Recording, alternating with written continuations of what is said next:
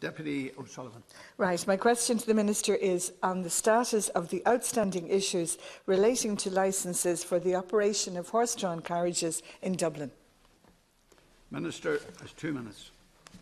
Yeah, first of all, I'd like to thank the Deputy for raising this issue here today. I know how acquainted you are with it, and the matter for the consideration of the House, I would like to firstly outline some background to this issue.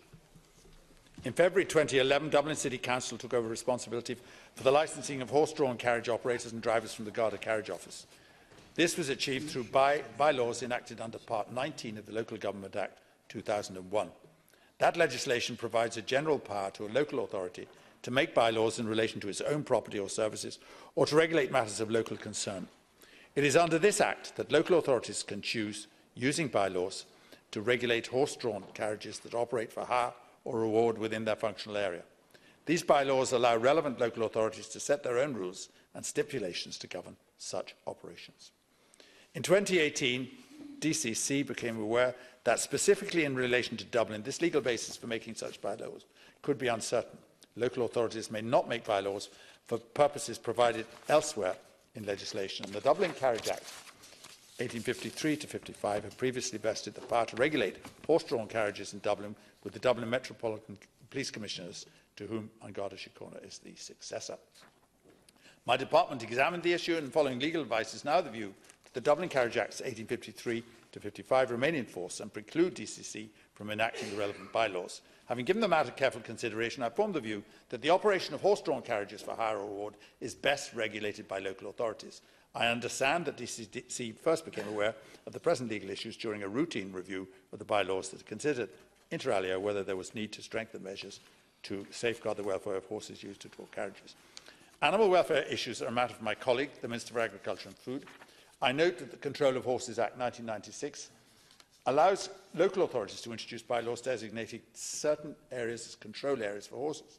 DCC has designated its administrative boundaries as such a control area under its Control of Horses bylaws. Those bylaws require horses to be licensed at minimum standards.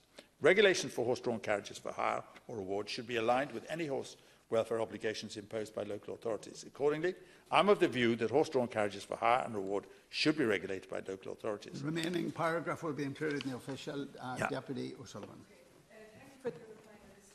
What, it, what, it's showing is what happens when an issue falls between several different authorities and within that lacuna, there is a terrible situation happening, whereas we have tourists and other people who are taking these horse-drawn carriage rides, mistakenly assuming that the Garda is fully vetted, that the, he's fully insured, that the carriage has been inspected and approved, that the horse is suitable to draw the carriage, and that the driver is skilled in the operation of the carriage, and that fires are set. But that's an assumption that's not borne out with the reality of the legislation. Now, I've met very responsible operators carriages. We had a very nice event in Merrion Square. It happened to be in the, in the rain when a number of these horse-drawn carriages with their drivers came along. And they're very concerned about the way they're, which they're operating within this vacuum.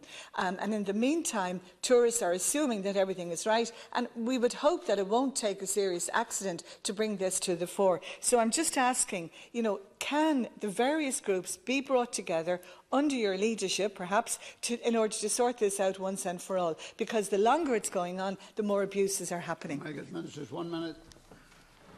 I think the, uh, the Deputy is correct. I think there is a lacuna here and there is a vacuum here. And it's, uh, it's something which it is difficult uh, for me to defend because it's taken too long.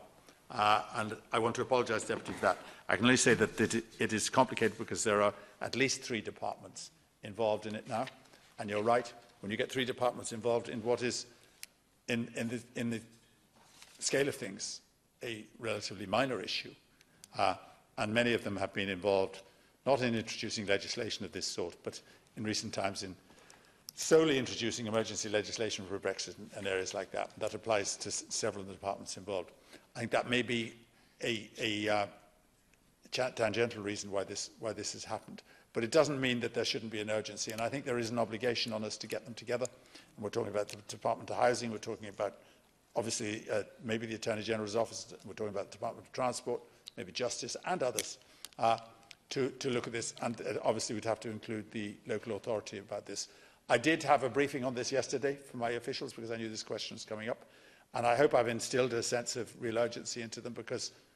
um, I was somewhat distressed by the fact that this is taking so long. Maybe it's not the fault of anybody in particular.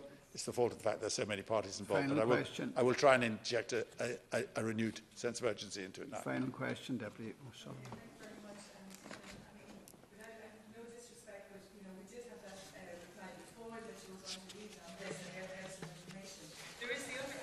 which is on the welfare of the horses also. And, you know, many people, including myself, applauded you on the, the, the action that you took in relation to the greyhound racing. And that was very much to be welcomed. But there's also an, uh, an aspect of the welfare of horses now, uh, of the horses that are being used in the carriages, because the lack of minimum requirements is having a detrimental effect on the welfare of some of the horses, because there's no clear minimum standards, and their welfare is being affected. So there is a need for the regulation, there is a need for this this industry to be regulated, to have the regulations, to have the bylaws that are up to date and that are serving the industry well. So I do hope from what you said today that it will get the urgency that it needs because it's been going on for far too long. I mean, some of the acts go back to the 19th century, so they have to be brought into the 21st century.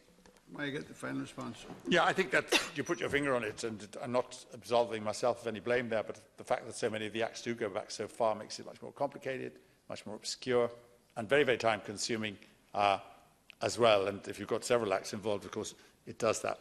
Um, and, and animal welfare is a matter for my colleague, the Minister for Agriculture and Food, but I'll be sure that he knows of the, I'm not passing the buck there, but I'm just, I'll make sure that he knows the contents of this debate. The Control of Horses Act 1996 provides powers to local authorities to designate, using bylaws, horse control areas within which horses are required to be licensed and where minimum standards are set for the keeping of horses.